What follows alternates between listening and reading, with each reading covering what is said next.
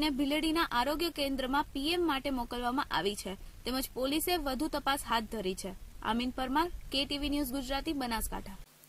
સુરેન્દ્રનગર જિલ્લાના ચોટીલા તાલુકાના પીપરાડી ગામે વિનામૂલ્યે દવા અને સર્વરોગ નિદાન કેમ્પનું આયોજન કરવામાં આવ્યું.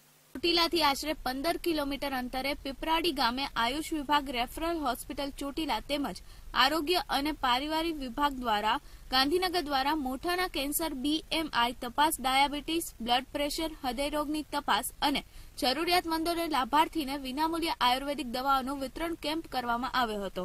આ કેમ્પમાં ડોક્ટર ભાગ્યશ્રી ટંડેલ, વેદાંતિ પંડ્યા તેમજ યોગ ગુરુ પ્રકાશભાઈ તેમજ પ્રાથમિક આરોગ્ય કેન્દ્રના સ્ટાફ અને આયુષ વિભાગ રેફરલ હોસ્પિટલ ચોટીલાના સ્ટાફના મિત્રોની મદદથી આ કેમ્પનું આયોજન કરવામાં આવ્યું હતું.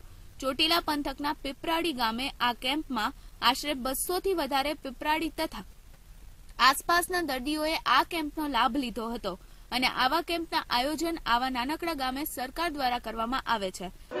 મારું નામ ડૉક્ટર ભાગ્યશ્રી ટંડેલ છે.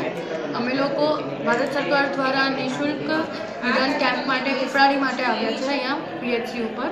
અને અહીંયા બીપી ડાયાબિટીસના દર્દીઓ અને જેના શ્વાસના દર્દીઓ એને જોવામાં આવે છે અને અત્યાર સુધી Vikramsinh Jadeja KTV news Gujarati Chotila. Dhrangadhra highway પર ચોરી તથા લૂંટ કરતી ગેંગ સક્રિય.